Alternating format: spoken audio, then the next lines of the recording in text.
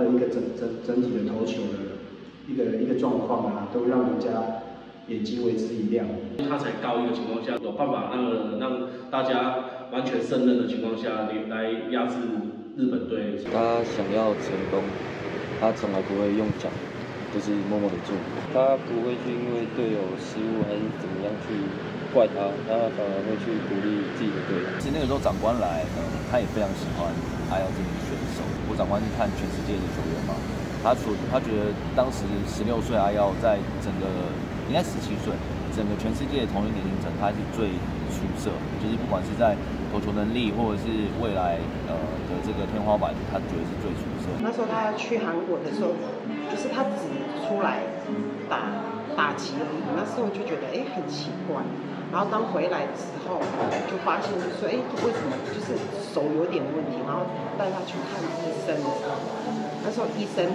判定是他百分之九十九断裂。当阿耀听到这个的时候，他就是就看到阿耀整个就是眼泪就一直掉，任何一句话都没有说。其实也是蛮难过的，因为毕竟好朋友，就是听到这个消息蛮震撼。然后他又。他又跟我说这是他第一次受伤，然后就面临到开刀这个情况这样子。高中那时那时的那种自信心好像就没了，然后感觉心里蛮心理上是有很大的一些，呃，应该是说开刀后的一些阴影。我高三的时候就是很重要的那一年，然后就是突然要就是接到这个不好的消息这样子。看到他自己在做复健，无论是复健还是是。自己去加强做一些，我这些我都有看到。他就是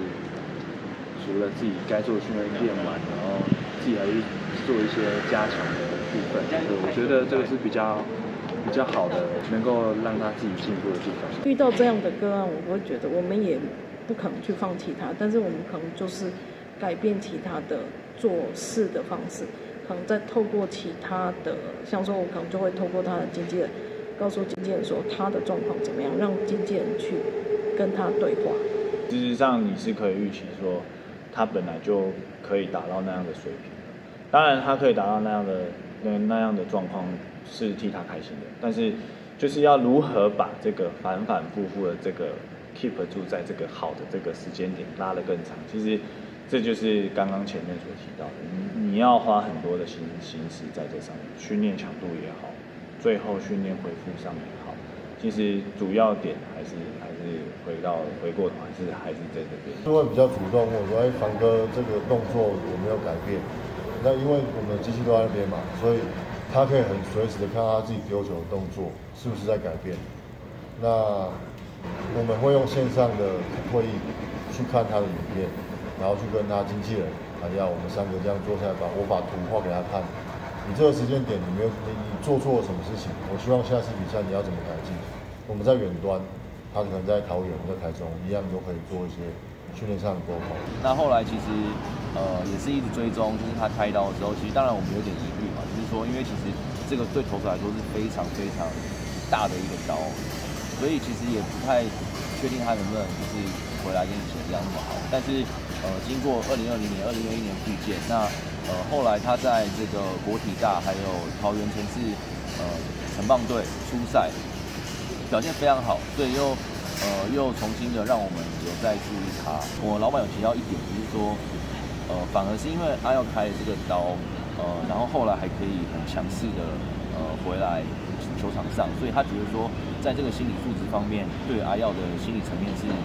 一个蛮大的肯定啊，就是说。你受了那么大的伤，然后还可以很顺利的回到球场上，所以其实这部分我们也是很加分的，对于他的心理层面。那还有一点是，他在球场上投球的时候，他的